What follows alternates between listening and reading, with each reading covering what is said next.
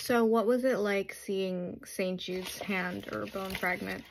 I was actually a volunteer at St. Basil um, when it was the veneration of the relic of St. Jude Thaddeus. Um, this is not Judas Iscariot. This is um, the other Judas.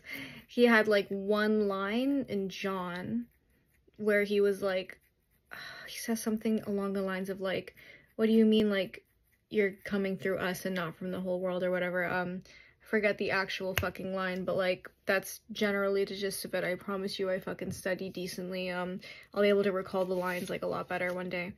But I just had this overwhelming feeling of like peace come afterwards. So like when I was walking in, I was actually really annoyed. Like I was cussing my mom out. Like I've had a really rough week because uh, of a really rough weekend. Uh, my older sister is an alcoholic, and I've had to deal with that and this last weekend was when it was really proven to me that this issue is really bad and that it needs to be addressed. I don't care about talking about this like publicly like it's it's fine, you know, like it's a personal issue, yeah, but like I don't I hide what I want to hide and I talk about what I want to talk about and I want to talk about this. So like I've been really fucked up over that and um I went in to see St. Jude and like I just kind of actually, I mean, I can't share everything because I actually felt you know, the spirit speaking to me, spirit of St. Jude specifically, not like the Holy Spirit or anything, more focused on St. Jude as like a person. Um felt that and I immediately did feel like a lightening in my mood. Like I'm still definitely burnt out. I still definitely like can't go to the gym tomorrow or Saturday or like anything, but I definitely feel a lot better. Um and I feel a lot more hopeful. It's interesting this happens on like the new moon, which is like supposed to be a time of manifestation, and St. Jude is like the saint of impossible causes, and I feel like I'm dealing with a lot of impossible stuff right now, mainly my mental health and getting myself back together. You know, dealing with someone who has an addiction. So, I don't know. I think like it was just really also wonderful seeing people go in with the relics and bring in their own statues to touch them to the relics and everything. And um really reminded me of like kind of Buddhist stuff, like what Tibetan Buddhists kind of do, like with the with their items and how they venerate things. And it just made me happy that like you know these conduits of energy are kept alive in Catholicism. You know, Abrahamic religion didn't completely destroy this idea of like you know an item holds on to energy, right? Like the bone fragment of a guy that knew Jesus is pretty important, and like we shouldn't just not have respect for that. We need to actually have respect for that, right? Because that you know, has a physical conduit back to Jesus and I got to see it today. And I got to like be a part of, you know, kind of taking care of it as a volunteer. So that's like really an insane, massive honor that I don't fucking deserve.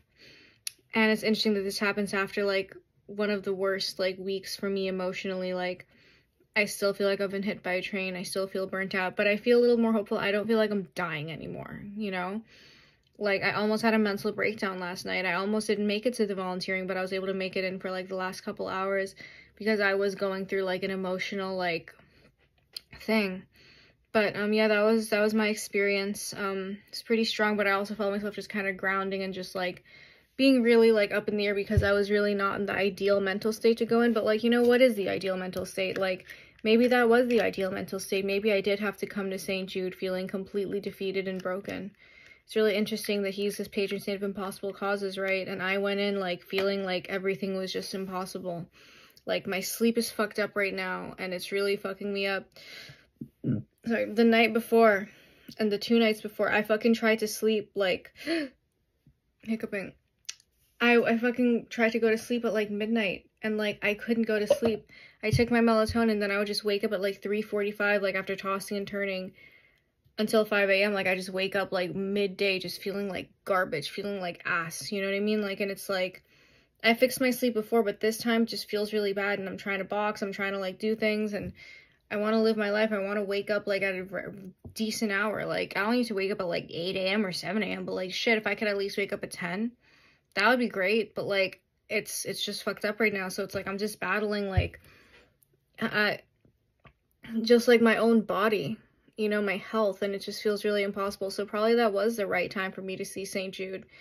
And I hope that my relationship with the saint grows. Um, it's really such an honor and I'm going to do this again soonish, but um, it's uh, it's been rough and it's a good time that it was a good time for St. Jude to come into my life in such a tangible way.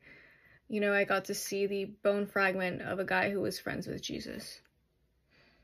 Like, that's pretty crazy. So, um, yeah, God is good. And I hope things get better. And I'm glad that we do this stuff in Catholicism. It is pretty weird and kind of metal and gnarly, but like that's what's what I like about it. It's weird. It's like Catholics are weird. I love it, you know?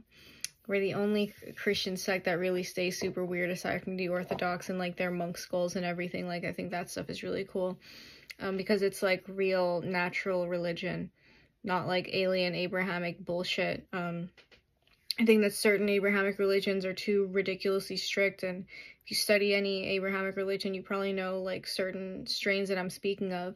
I'm not gonna name them, but you know, if you know anything, you probably um could probably guess. but I don't know. I I really liked being around the bone fragment of Saint Jude today, and it was really helpful because things have been really hard. But all right. I'm going to hop off. Bye.